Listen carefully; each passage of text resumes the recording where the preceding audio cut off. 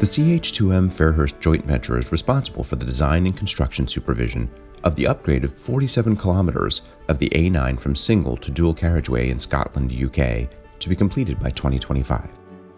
With such a large project, there are many options and many stakeholders that the team needed to bring to the table to incorporate their concerns, communicate design plans, and get buy in from both government agencies and nearby residents. Christoph Siaka, senior engineer at CH2M, describes how Bentley LumenRT and ContextCapture software helped them to successfully overcome this challenge.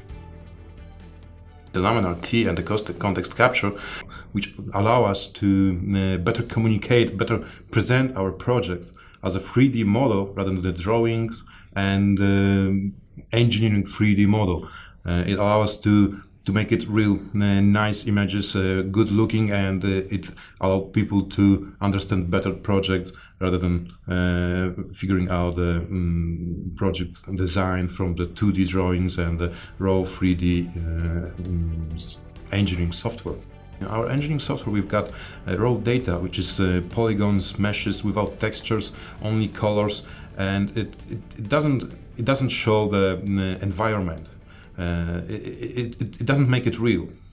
That's why we're using reality mesh because when you look at the reality mesh, uh, which is a high resolution one, it's, it's, you feel you have a feeling this is the this is the reality. This is this is the, this is real. And if you combine it with your design model and and apply textures, cars, moving cars, and uh, trees, uh, environment elements uh, which are already in the environment, people just have a feeling that they are they are there this is this is I know this I know this view. I, am I'm, I'm living here. Uh, I know this is the this is this location and uh, they can orientate in a uh, um, in, in space uh, more easily. They, they, they can recognize the project and uh, the, the, environment more easily. So it's it's easier for them to uh, to to understand project. Looking at the high quality uh, mm, LiveCube mm, in, in LumenRT as a uh, virtual as a reality model, as a 3D model, rather than looking at the uh, engineering design, because they, they, they don't understand it. It's gonna be we're gonna have a, a, lot of questions. What's happening here? We can we can explain it more visually in LumenRT. Uh, there's gonna be definitely uh, wider use of uh, LumenRT, but the future is happening now.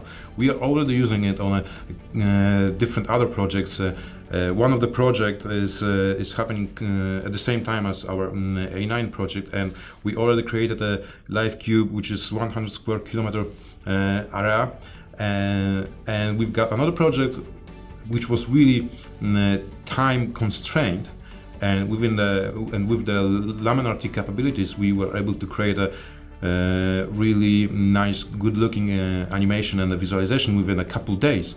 Uh, and I know the other people from uh, our company, that they just asking me uh, about the LumenRT, and they also want to use it. And uh, so the, the future is happening now.